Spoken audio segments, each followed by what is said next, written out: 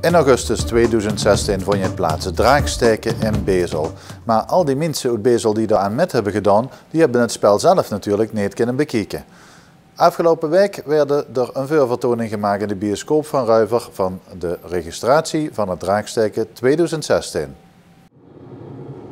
Vorig jaar versloeg Sint Joris weer de draak in Bezel. In een openluchtspel dat groter opgezet was dan ooit, werden ook nu weer het kwaad verslagen. De hongerde medewerkers, vooral woonachtig in Bezel, hebben zichzelf weer overtroffen. Maar de spelers op het veld en de mensen achter de schermen hebben natuurlijk niet veel van het spektakel kunnen zien. Televisiebedrijf Trek 88 uit Riekel heeft een registratie gemaakt van het complete spel.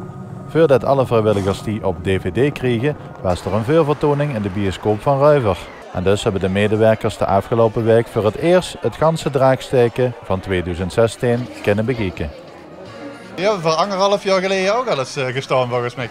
Om precies 14 maanden geleden sting je voor jou en dat was voor een angelpremière, ook van een film van uh, Trek 88, Wille aan de Theeboosten.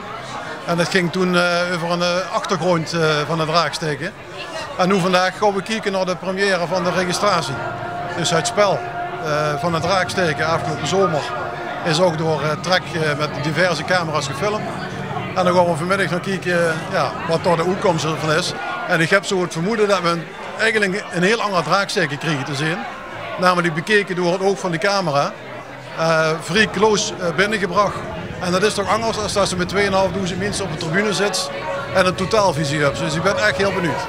En ik kan me ook voorstellen, ja, de spelers die hebben eigenlijk het draaksteken zelf nog niet, uh, niet kunnen terugzien. Nee, die spelers hebben eigenlijk het spel zelf niet gezien.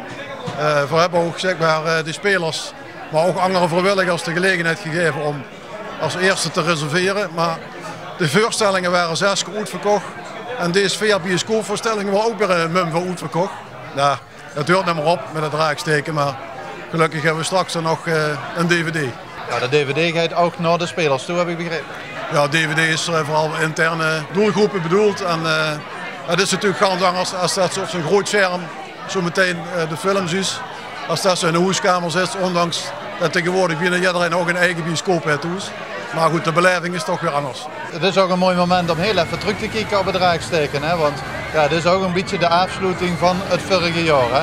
En ja, meteen komt dan ook weer de vraag van, uh, gaat dit weer lukken voor zeven jaar? Nou, daar gaan we vanuit dat het weer gaat lukken. Het is wel elke keer weer een uitdaging om hetzelfde niveau en hetzelfde prestatie-kwaliteitsniveau om dat weer te gaan halen. Dat is natuurlijk ook alles hoe we erop kunnen inzetten. We hebben morgen van het bestuur eigenlijk de laatste evaluatievergadering. Nou, dan gaan we zeg maar, een document maken wat wordt aangeboden aan het volgende bestuur. Want er zijn altijd een aantal mensen die vertrekken en dan komen straks hopelijk ook wel nieuwe voor. Maar we kijken alleen maar terug op een fantastisch draaksteken wat in alle facetten volop is geslaagd.